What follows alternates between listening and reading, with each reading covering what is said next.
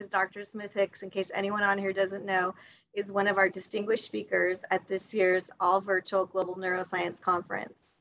And um, I think it's pretty special that Dr. Roger Bing or Roger Bingham, who's our moderator, actually found you, Dr. Smith Hicks, and was the catalyst for me to reach out to you. And then I really was um, so wonderful to meet in person, especially after being in this pandemic for so long. And then to actually tour the Kennedy Krieger Center where you're at, um, to me was truly remarkable. And we always do some photos. Uh, you can go back to the first one. This is our first Zoom call, and that was back in June. And I definitely felt a heart connection to you on that Zoom call and um, was just really excited to have you involved in the conference. I could tell how much you love the work that you do and the, and the way you love the families that you serve. And it just felt so familiar, like we were going to just bring you on um, and be part of the Autism Tree family out here. So then these next set of pictures are my recent visit in August.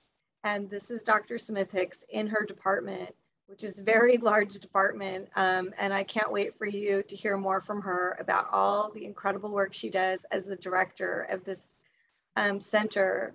And Kennedy Krieger Institute um, is 85 years old and has 85 departments. And I just thought that was so interesting because Autism Tree is 18 years old and we have 20 programs. And I feel that they've migrated very organically and we're not a clinical setting, but what we're doing is we are providing social communication opportunities. I'm sure you won't be surprised, Dr. Smith Hicks, that almost every um, parent that calls, that's what they're asking for at, to us at Autism Tree. They're asking for many things, but one thread that they're all asking for is more social communication opportunities. And so I think um, I felt really blessed learning that Kennedy Krieger is 85 years old and has 85 departments. I thought, well, you know, we're, you know, 18 years old and we have 20 programs. And I, I felt inspired by that, that I think we're where we need to be. And I think today, I'd like to think that something special is happening. Um, I really felt that when I went out to the Kennedy Krieger Institute. And then we have Jeff here on the call. And Jeff has been um, one of our biggest um, leaders and contributors to these lunch and learns. And I like to see this the relationship um, keep growing between the East Coast and the West Coast.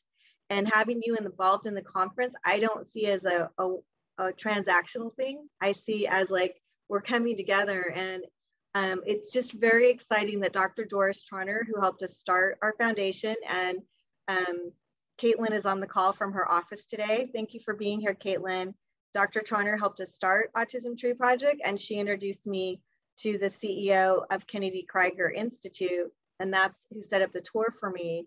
And it's just, it's so exciting to me, Dr. Smith Hicks, that Dr. Doris Trauner out here and Bradley um, I don't want to mispronounce his name. Will you say his full name for me?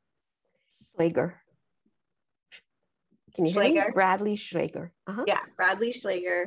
Um, I just think it's wonderful that they're both colleagues. And I was on our pre-call today, I was telling Dr. Smith Hicks what an incredibly exciting um, Zoom call we had with our chairman for the neuroscience conference, Dr. Alysson Muotri, and our moderator, Roger Bingham, with Bradley. And now Bradley is going to be introducing um, Dr. Smith Hicks at the conference and also doing an overview of the whole Kennedy Krieger Institute. So I'm just really thrilled for you all today to realize that this is a starting point of something I see um, building in the future, Dr. Smith Hicks, and I hope you feel the same way. And I want to give you a warm, warm welcome and say I already feel like you're part of our Autism Tree family.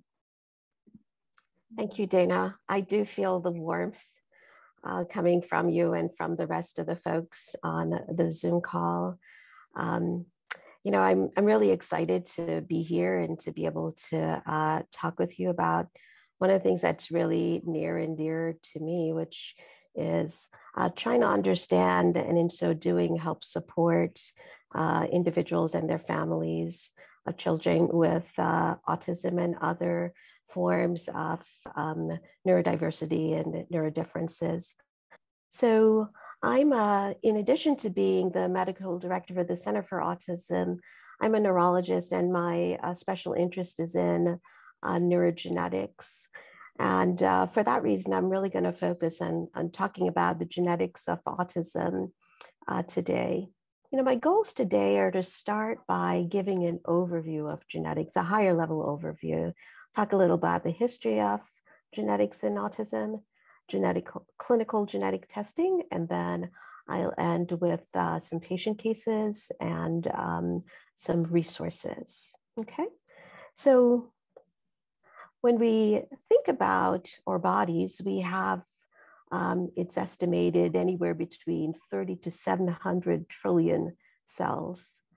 And the vast majority of those cells have a nucleus in which our genetic information or our genome is compacted in the form of chromosomes, right? We have 23 pairs of chromosomes. Um, men have an X and a Y, and women have two X, and then there uh, 22 other pairs of what we call autosomes.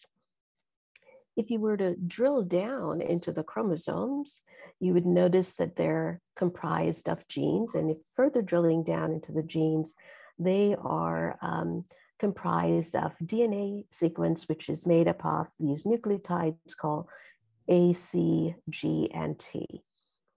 Okay, so the our genetic material is housed in the DNA, and our DNA effectively encodes for um, the information that determines what we look like and what we do. So both our features and our function.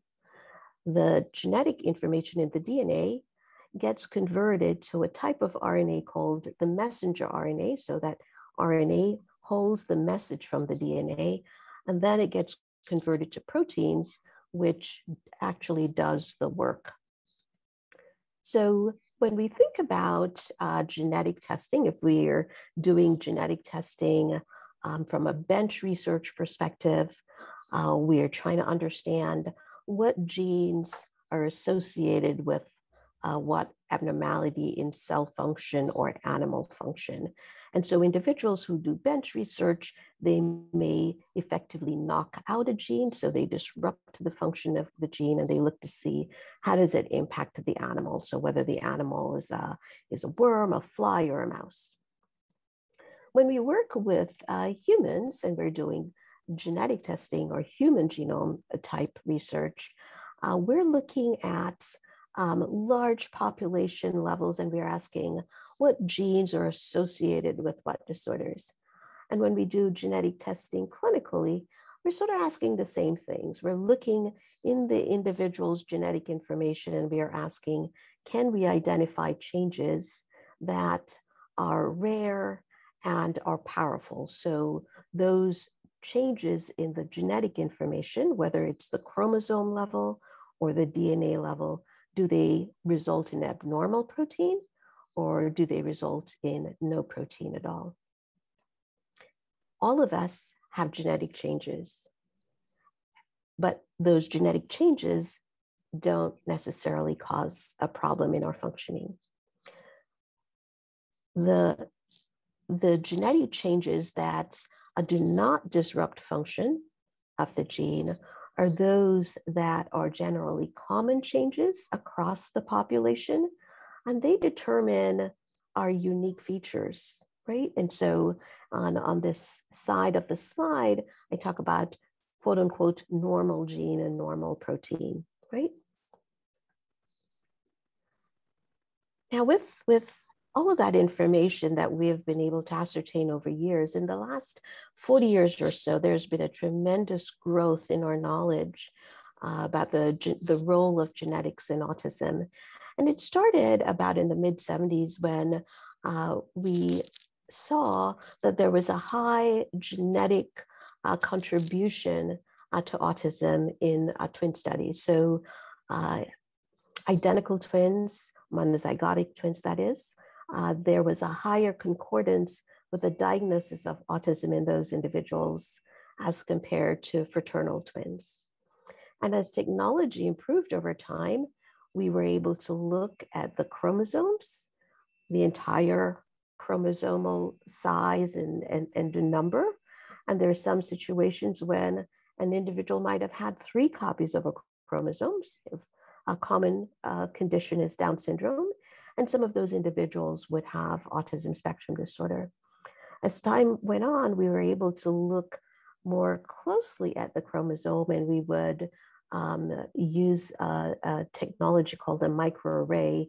And we were able to ask, are there pieces of the chromosome that are missing or are there more than they should be?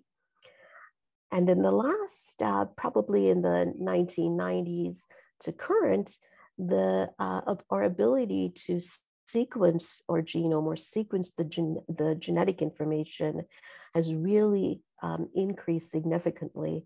And so that um, increase in our knowledge and our technology, in addition to a reduction in the costs for genetic uh, testing and sequencing, has resulted in a tremendous increase in the number of genes that have been associated with an autism.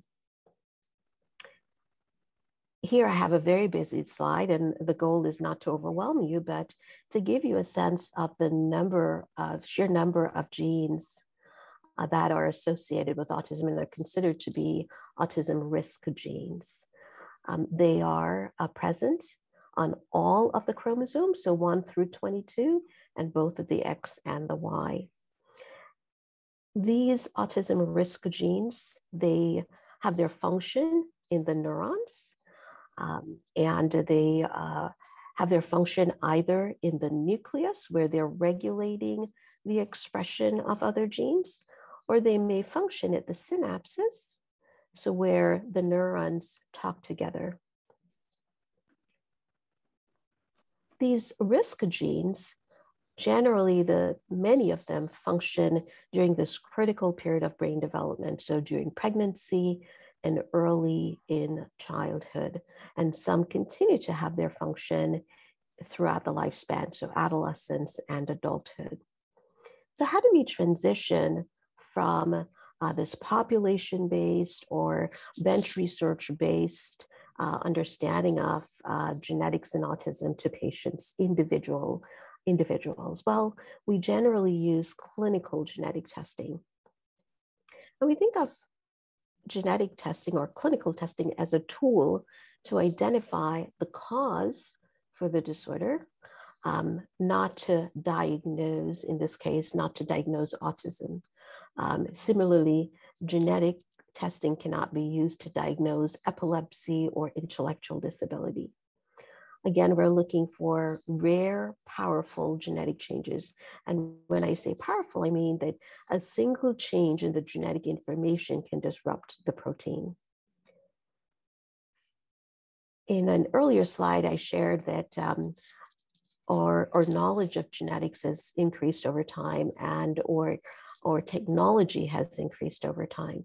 So you can imagine if someone had testing done in the early 2000s, if they did not find uh, an explanation for why the individual had autism, if they were to do testing now, it's very likely that they might indeed find an explanation. So I alluded to chromosome microarray uh, earlier, and that's uh, a technology that allows us to ask, are all the genes present in the right number? So are they deleted where a, a section of the chromosome, so a section of the, the number of genes are missing? Are they duplicated, in which case you have um, more genes, or in this case, twice the number of genes um, that uh, one would expect. This is considered one of the first tier of testing uh, for individuals with autism or other uh, neurodevelopmental challenges. Fragile X DNA sequencing is another example of a first tier testing. And in this particular test, we're looking at uh, the repeat size, so the CGG repeat size in a gene called FMR1. Now, all of us have some number of repeats, and 6 to 44 repeats are considered common and are present uh, in uh, neurotypical individuals, whereas individuals with uh, Fragile X syndrome uh, have greater than uh, 200 CGG repeats. And these repeats are what we call methylated. So the body's attempt to stop the repeat expansion, um, it does that by methylating it. And in so doing, um, can you still see my slide? Yes. Okay, great. And in so doing, uh, turns off um, the uh, expression of that gene. So we have no FMR, FMR1 protein. Um, in some individuals, they have uh, anywhere between 55 to 200 repeats. Those individuals are in the pre-mutation range.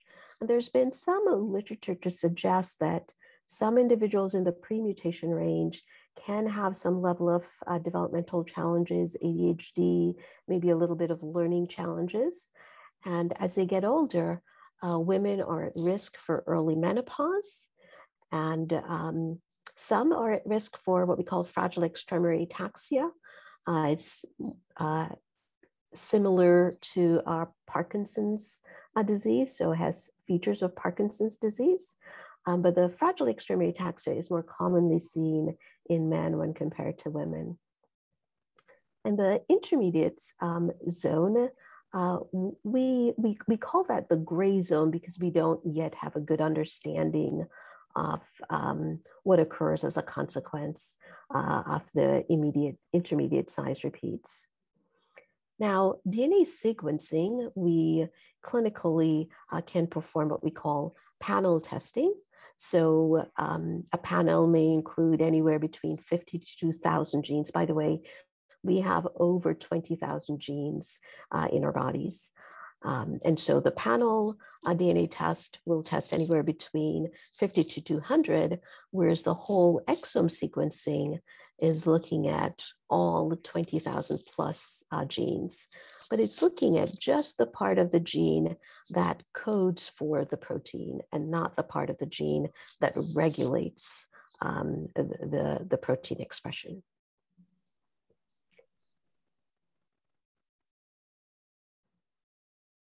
So I'm going to talk a little bit about, um, you know, some of the things that we can see uh, on genetic testing, right?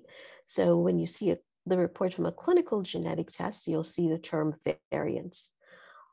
Any genetic change is considered a variant. So variant is a is a neutral term, right? Um, we can see, uh, as I said earlier, all of us have variants because all of us have genetic changes those changes um, that are benign and don't uh, cause a problem are generally common and they contribute to um, our uniqueness. Um, there are other changes that we use the term pathogenic to describe, and those are the changes that actually disrupt the function of the gene. The changes may occur at the level of the chromosome.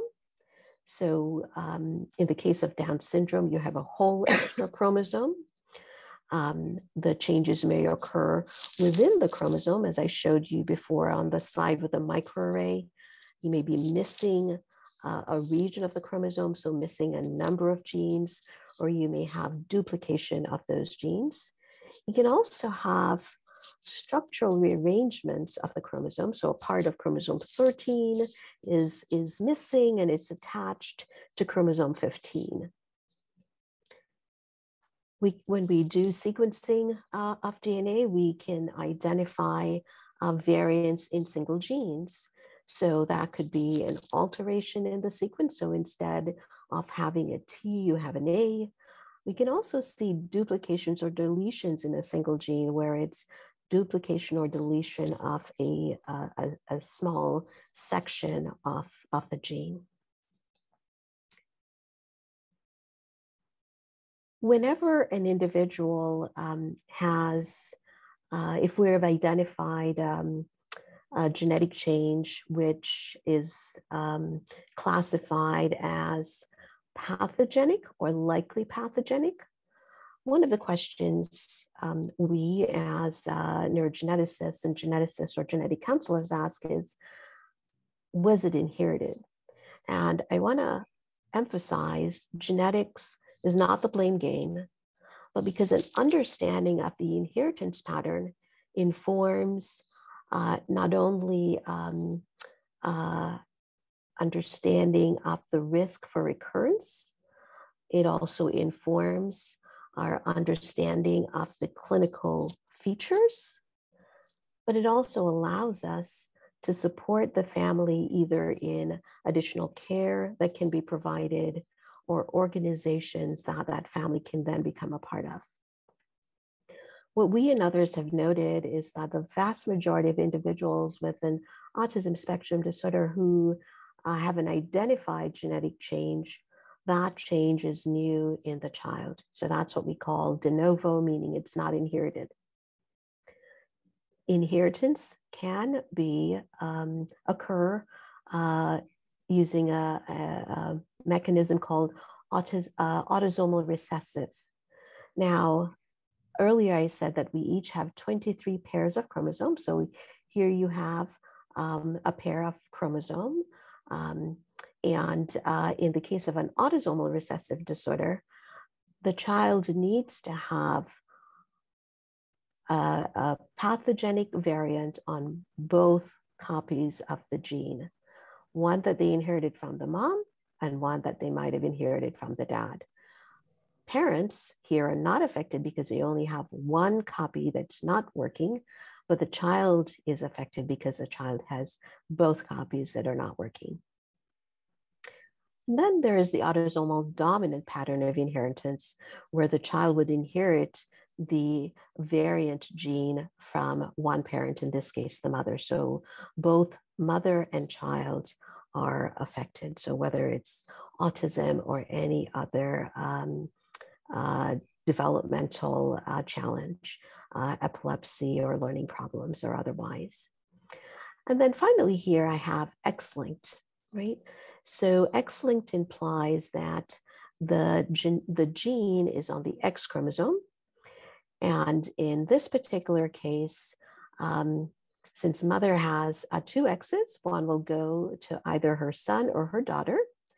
And uh, in this particular case, um, when the, the male child inherits the pathogenic variant, that child is affected. And when the female child inherits the pathogenic variant, that child can either be affected or it can be a carrier. So X-linked disorders become a little bit more complicated in their expression as compared to the other disorders. So I'm going to segue and I'm going to talk about um, two patients um, whom I have cared for over the years and uh, just kind of tell you a little bit about um, their history and their um, the results of testing for them. So first we have this seven-year-old boy um, who was diagnosed with an autism spectrum disorder. Uh, he also had some learning disabilities. His parents and their si siblings were uh, young and they wanted to have more kids. Uh, this child was the only one in the family who had a uh, diagnosis of autism and learning challenges. Um, but we also learned from the family that the child's mother's uh, aunt and the child's uh, mother's father um, were uh, had had some medical issues. The mother, the uh, aunt, had uh, menopause, and the father was diagnosed with Parkinson's. So we we opted to do the um, the first tier testing, so chromosomal microarray, and then the Fragile X DNA testing. And in this little boy, we determined that he had the full mutation.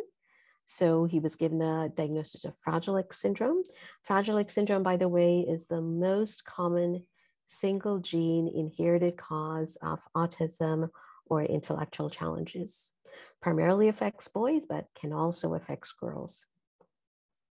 So his mom had a repeat size in the pre-mutation uh, range. Cannot seem to find my mouse. Here it is. So um, mother had a um, repeat size in the pre-mutation range. And so we were able to talk about her risk for going into early menopause and some of the things that she may be able to do um, in light of that knowledge, uh, given her interest in having other children. We also talked about her small risk for having the tremor ataxia, ataxia syndrome. We were able to connect with um, um, the maternal aunt and the maternal grandfather. And uh, we were able to perform uh, Fragile X testing on both.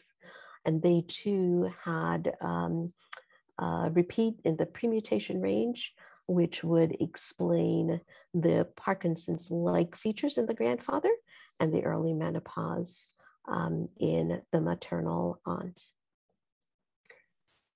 Now, in this particular family, we identified the genetic cause for one individual, but it had a ripple effect across multiple generations.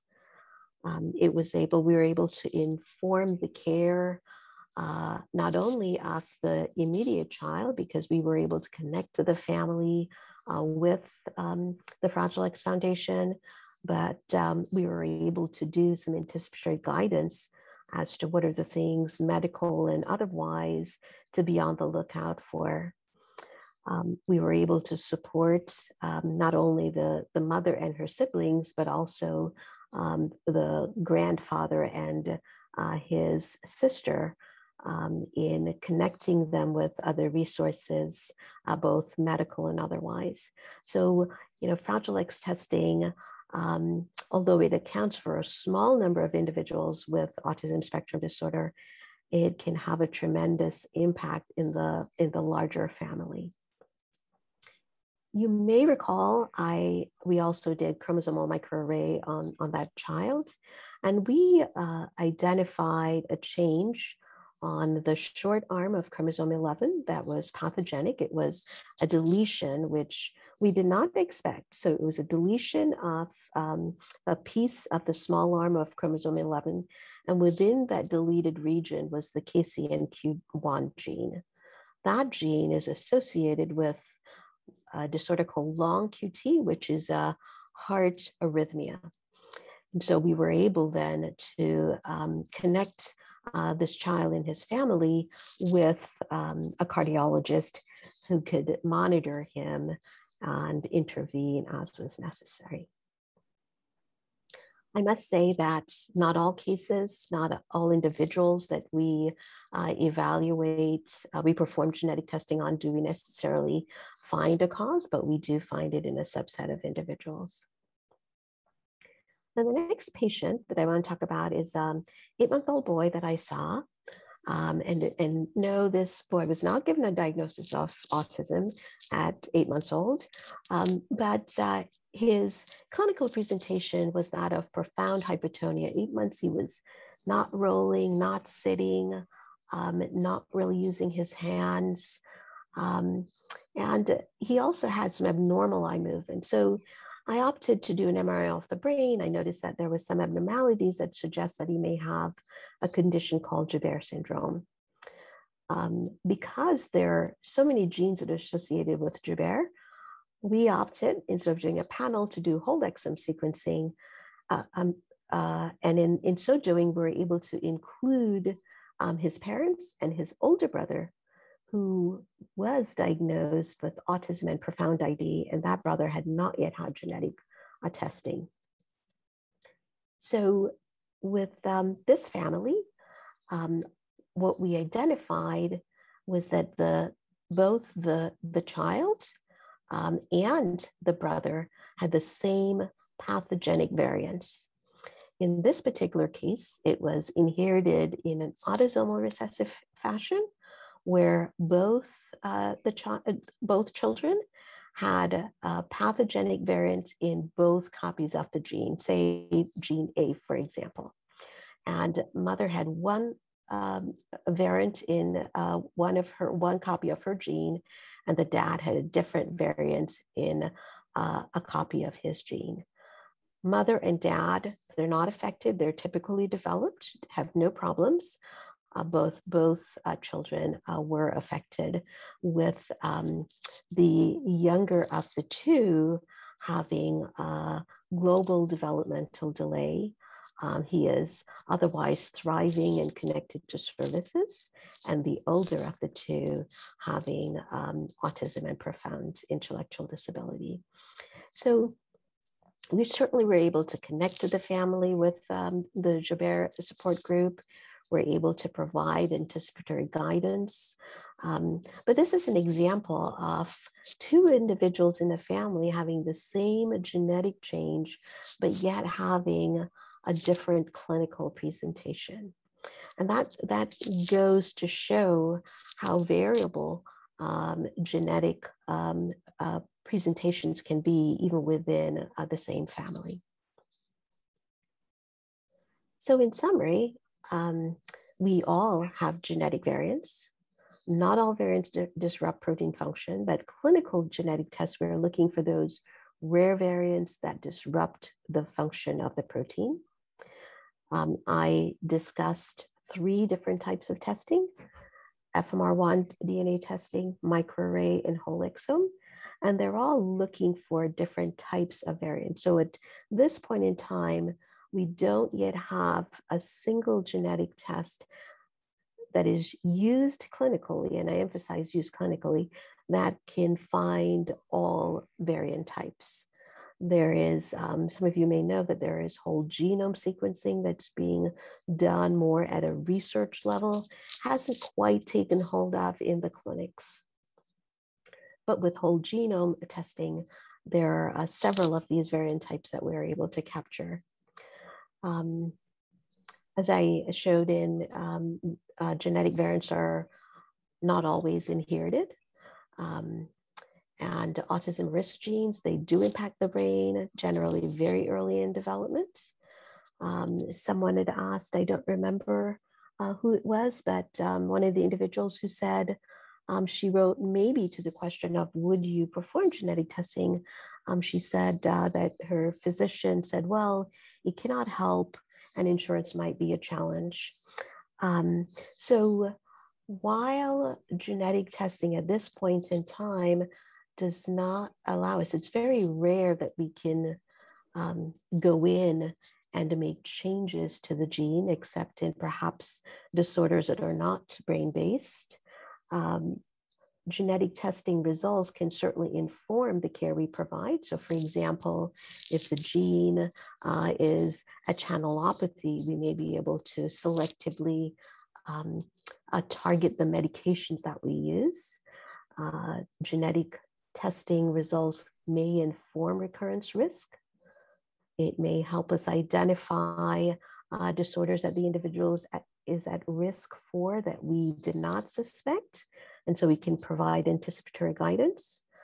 And it also allows us to provide support for the patient and the family. You know, one of the things parents often say is, um, you know, I've been blaming myself for the longest because I thought I did something wrong in my pregnancy. Even though I tried my best, I did everything by the book, right? And then I've had parents who really break down in tears um, and it's tears of relief knowing that they had no control over the genetics of their child. Um, some parents have also, also said that it's been so reassuring to be able to connect with other people who understand where I am and what the experiences have been and are ahead of me in their journey and can share, and in so doing, provide anticipatory guidance. One of the other benefits, and this is the research arm, um, that genetic testing certainly informs uh, research. Um, there is a gene called SYNGAP1, um, which is one of the areas of my um, specialization. The gene was uh, identified to play a role in brain function, AMPA receptor function, uh, back in 1998 or so, it was published. But it was not until 2012 when it was first linked with a clinical diagnosis um, or a clinical disorder. And that's because we're able to make that link uh, because of clinical genetic testing. So, from my vantage point, I do see a lot of benefits of uh, clinical genetic testing to the question about insurance, um, insurance coverage, um, we here at the Kennedy Krieger Institutes um, have had um, um, the good fortune of collaborating with uh, various labs um, that has facilitated our ability to get genetic testing for the vast majority of our patients. But um, that certainly has been a challenge, but I think genetic testing costs have declined over time and insurance providers are being informed of the value of uh, genetic testing. So with that, I will share a bunch of resources. Um, here, um, there are resources. So an individual who has a known uh, genetic diagnosis, they can uh, visit these various sites um, that um, they'll be able to find information uh, about their specific disorder. Um, sometimes Facebook groups, private Facebook groups have been uh, um, uh, useful in that regard. And there are gene specific or disorder specific foundations. Clinicaltrials.gov is a good resource um, for looking for not, not only intervention trials, but also a clinical research that's trying to better understand uh, the spectrum of the genetic disorder. So thank you all for listening. Well, thank, Thank you. you, everybody. Yeah, thank you again, Dr. Bye. Hicks.